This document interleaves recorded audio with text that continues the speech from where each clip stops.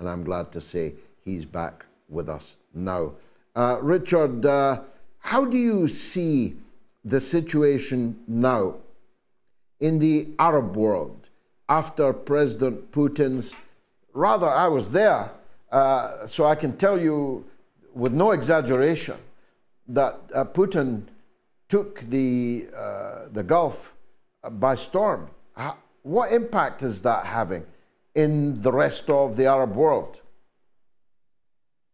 Hi, George. Thanks for having me on. Well, I'll, I'll just start out by saying that um, uh, when uh, Putin visited uh, Saudi Arabia, they they posted a six-minute video um, of him being greeted by mm. um, MBS uh, and other officials, which was kind of a uh, how should I put this politely? Well, it was. Um, uh, a rude gesture pointed at the uh, aimed at the Americans in a, in a in a sense, telling them that look, we have other options in case you're going to fumble this with uh, uh, what you're doing uh, with Israel, um, with this uh, plan for a new Middle East, um, and and of course, you know, earlier in the year when when Saudi Arabia, UAE, Egypt, they they joined BRICS, they also kind of sent that message as well.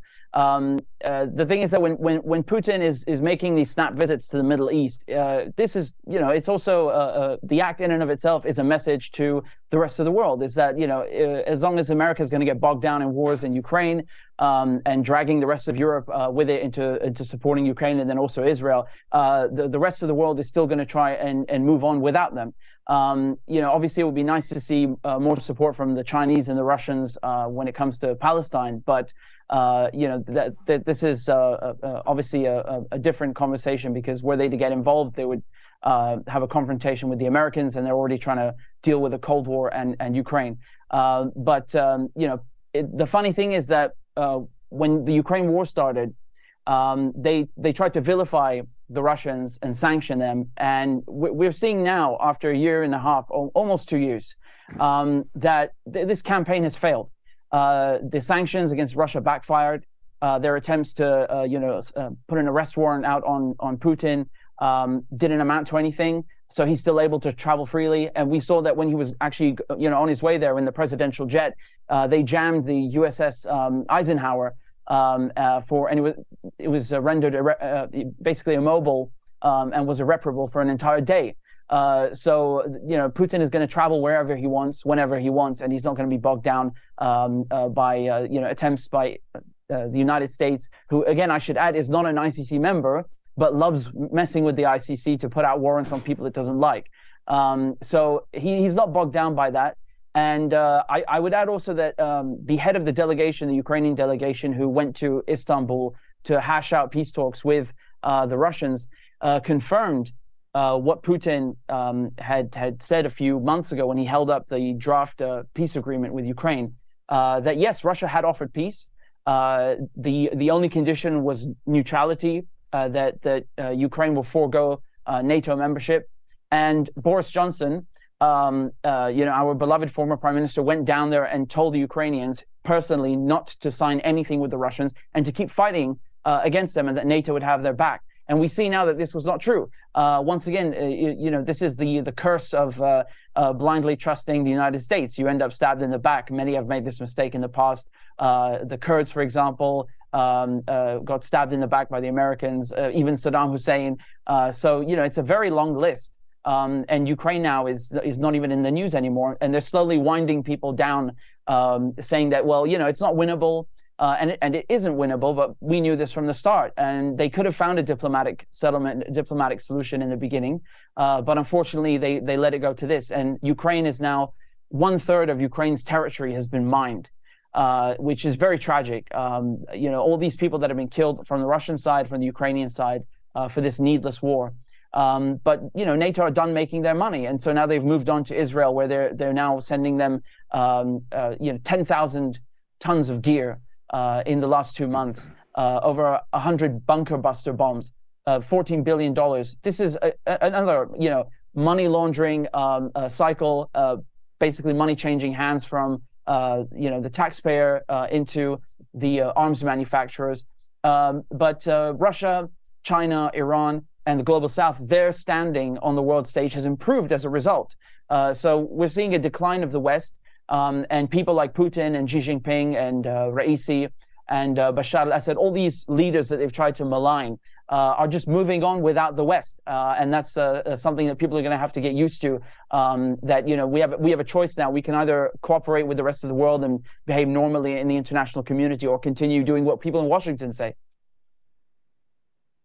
Some things uh, surprise one, uh, even at my age. and one of those is how badly Israeli propaganda is put together, littered with quickly and easily provable uh, falsehoods, mistakes, right. lies, uh, and, and how little traction it has in the world, despite being supported by all Western governments and virtually all, if not entirely all, uh, the uh, mainstream media in all Western countries. Are you surprised how badly uh, Israel has um, ha has created this propaganda, or is what they're doing just so horrific that no amount of artistry uh, can turn it into a pretty picture? Yeah, th those are both very good points, George. Um, the the thing is that you know the United States send Israel billions of dollars every year, and and I'm kind of shocked how they they still manage to make the worst propaganda on earth. It's it's, I mean, they either they they are really incompetent or they they just uh, thing that everyone in the West is really stupid that they're just going to buy this, uh, uh, you know, and, and, blindly believe it. And the latest one was was this uh, uh, episode where they basically kidnapped um, uh, men in Gaza, including journalists. They stripped them, blindfolded them. they kept them in the cold all night, then released some of them. And you know, because people got outraged, um, and and some stations, some journalists asked them about it. They then claimed they're Hamas fighters. Well, you know, they they're not Hamas fighters because you don't fight naked. And and we the Israelis released videos of these uh, so-called Hamas fighters surrendering their assault rifles, their AK-47s, in their underwear. Um, so you know this idea that that um, they they would fight naked, I, I, just don't buy this. It's it's uh, preposterous. Um, uh, and also, well, you know, we know that the Israelis um, uh, have lied about a lot of things. You know, they keep telling us that things are happening, but they don't provide any evidence. I mean, uh, they say, for example, that um, uh, you know, again, I don't want to go into their whole list of things, but the beheaded babies, for example, was one of the biggest claims, and and yet they don't provide any evidence. Um, and uh, the rapes, no evidence. Uh, e- even on college campuses in the U.S., they they make claims that Palestinian activists or pro-Palestine uh, people are saying things like "gas to Jews." Well, I mean, if, if they would provide us evidence with this, I think you and I would be the first people to condemn that, but they don't provide any evidence. And so what they're really trying to do is to smear the Palestinian resistance, uh, to smear uh, uh, college students, um, uh, you know, university campuses where, where some protesting against Israel is allowed, uh, and, and shut that uh, entire conversation down and, and, you know, allow no room for dissent. And so it re- really is preposterous and, and terrible propaganda. Um, and the thing with the list in the hospital at, at Al Shifa Hospital, I mean, they just thought that because something is written in Arabic and the Israelis pointing at it and saying, you know, this is a list of, of, of hostage nannies, that people are going to blindly believe that, which I think says a lot about the the level of Islamophobia that's that's been you know that's been uh, um, that's fermented in the West over the years with Iraq and, and, with Syria and Afghanistan and so on. That that you know you can say anything about um, Arabs and Muslims and people will just eat it up. Well, unfortunately for them, uh, you know, people on the internet are not um, uh, just going to blindly believe what Israel says, and and they, you know, rightfully called that out. It was actually just the days of the week written in Arabic. Uh, so yeah, it, it, really is terrible propaganda.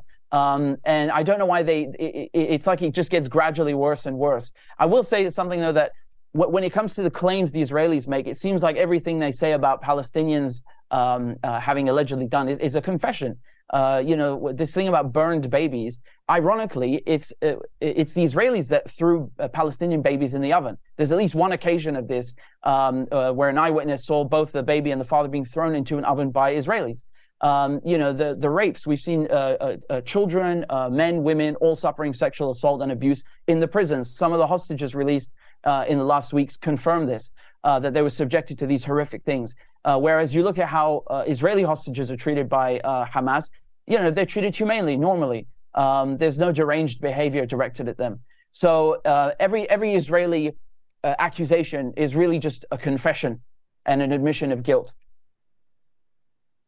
Even their general staff, uh, Mr. Mark Regev, for example, the Australian settler, who has become an indispensable voice for Netanyahu, Yeah. former ambassador uh, in London, uh, he, he went on television and when asked by the journalist why they had stripped all these men naked and put them on public display, a la Abu Ghraib, uh, Right. for example, he actually said on television it was hot, so we stripped them down.